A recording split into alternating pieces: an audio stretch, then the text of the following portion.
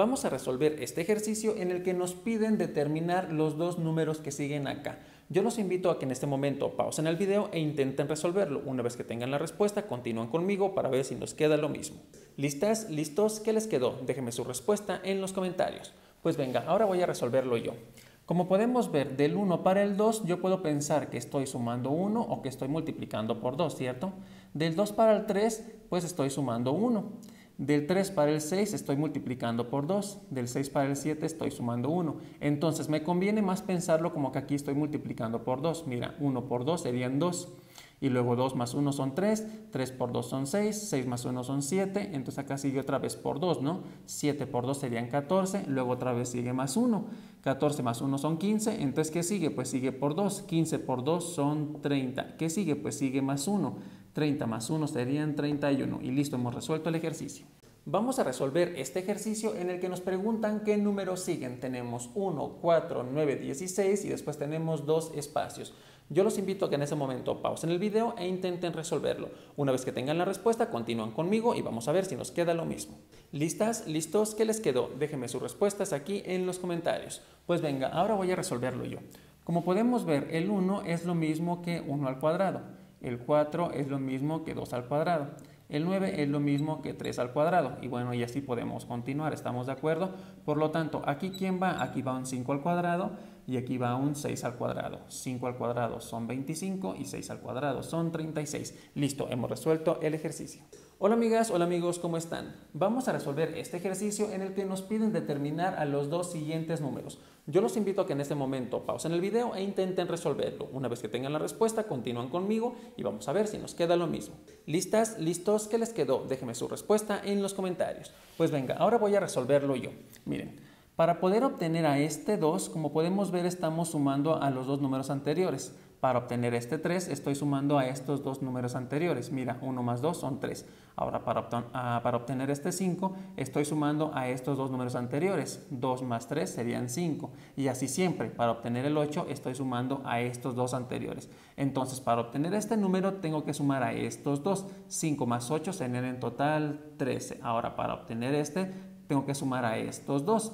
8 más 13 serían en total 21. Y listo, hemos terminado este ejercicio. Hey, espera, no te vayas porque te voy a enseñar a resolver este ejercicio en menos de un minuto. Dice, ¿cuál es la probabilidad de que al lanzar tres monedas al aire, al menos una caiga en sol? Lo primero que voy a hacer es representar a las monedas, moneda 1, moneda 2 y moneda 3. Y vamos a poner a todas las posibles combinaciones. Podría caer sol, sol, sol, o sea que sol en cada una de las monedas. Podría ser sol, sol, águila. Podría ser sol, águila, sol. Podría ser sol, águila, águila. Ahora vamos con las águilas. Águila, águila, águila. Águila, águila, sol. Águila, sol, águila. Y finalmente águila, sol, sol. Ahora, en esta opción, al menos una cayó en sol. Aquí también al menos una cayó en sol. Aquí también al menos una. En esta también al menos una. En esta no, ya que las tres son águilas. Acá también al menos una, también al menos una y también al menos una. En total, entonces tenemos 7 de 8 en total. Entonces la respuesta será 7 de cada 8. Hey, espérate que te voy a explicar cómo encontrar el área de esta región sombreada en menos de un minuto. Vamos a empezar. Lo primero que voy a hacer es determinar el área del cuadrado. Para esto entonces simplemente hago base por altura. 12 por 12 son 144.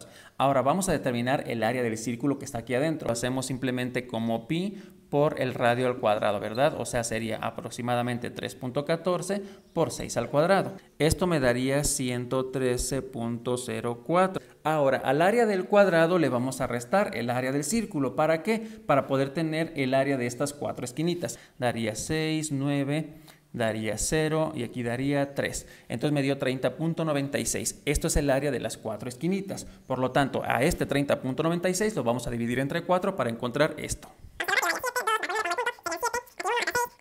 Bueno, entonces ya tenemos que el área de esa región sombreada será 7.74 y en este caso son centímetros cuadrados. Ey, espérate, porque el video que sigue está bien aburrido y esto sí te va a servir un montón. Fíjate, ¿cómo le podemos hacer para determinar el área de una región sombreada como esta? Como puedes ver, tienes un polígono que no está fácil de resolver porque no tenemos una fórmula directa. Entonces, vamos a hacer lo siguiente. Voy a decir que esto es área sombreada, esto que está aquí. A este triángulo le voy a decir a 1 y a este triángulo le voy a decir a 2. Entonces, si nosotros sumamos a AS más A1 más A2, pues me tendría que dar el área total, ¿estamos de acuerdo? Le voy a poner AT. Ahora, este y este están sumando, los voy a pasar restando, entonces voy a hacer AS es igual a AT menos A1 y menos A2. Listo, esta es la fórmula que vamos a necesitar para poder determinar el área de la región sombreada. Ahora, ¿cómo sacamos el área total? Pues el área total sería 16 por 12, ¿cierto? Hacemos rápido 16 por 12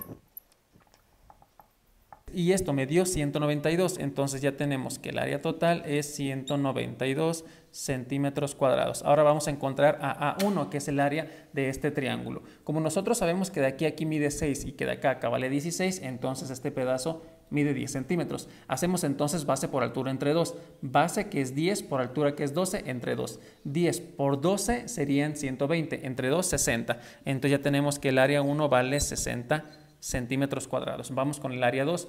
Como todo esto mide 12 y este pedacito mide 8, entonces este pedacito medirá 4, ¿cierto? Hacemos entonces 6 por 4 entre 2, 6 por 4, 24 entre 2, 12. Entonces ya tenemos que el área 2 me dio 12 centímetros cuadrados. Por lo tanto, entonces me quedaría que el área sombreada sería 192 menos 60 menos 12. 192 menos 60 daría 132, menos 12 serían 120. En este caso son centímetros cuadrados y esto ya sería el área de la región sombreada. Terminaste la primaria y no sabes cómo ubicar un punto en el plano cartesiano, entonces quédate en este video porque lo vas a aprender en solamente un minuto. Vamos a empezar. La recta que está horizontal se le conoce como eje de las X y la recta que está vertical se le conoce como eje de las Y. Cuando nosotros vamos a ubicar un punto, siempre tenemos que verlo como X, Y, es decir, siempre el primer número está en X y el segundo número va a estar en Y.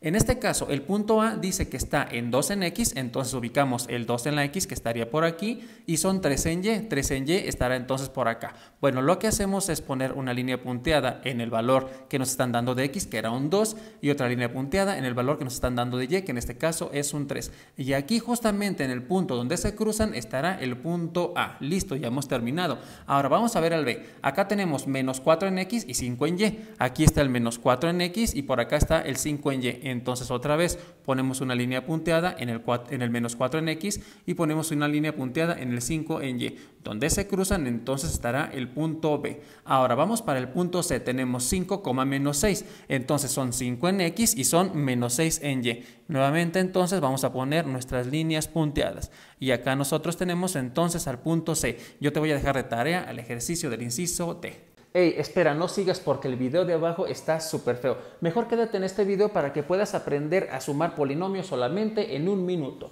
Mira, aquí nosotros tenemos que sumar a P y a Q. Sabemos que P es este trinomio y que Q es este otro trinomio. Bueno, entonces si yo quiero hacer P más Q, simplemente voy a sustituir. Me quedaría entonces X cuadrada menos X más 3 más el polinomio Q, que sería este que está acá. Voy a poner un paréntesis y vamos a meter entonces a este otro polinomio.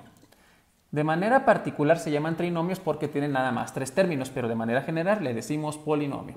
Bueno, aquí voy a bajar a este nuevamente y aquí vamos a multiplicar los signos. Si no tiene nada significa que es positivo. Más por más me dará más. ¿Qué cosa? 5x cuadrada. Más por más me dará más también. ¿Qué cosa? 2x. Y más por menos me dará menos. ¿Qué cosa? 8. Ahora vamos a buscar a los términos semejantes. Semejantes es que tengan a las mismas letras o en este caso este tiene un x cuadrada y este también tiene x cuadrada. Una x cuadrada más 5x cuadrada, en total tenemos 6x cuadrada. Acá tenemos menos x más 2x. 2x menos x me quedará únicamente más una sola x. Y aquí tenemos 3 menos 8. 3 menos 8 me dará menos 5. Bueno, esto que está aquí entonces ya será el resultado.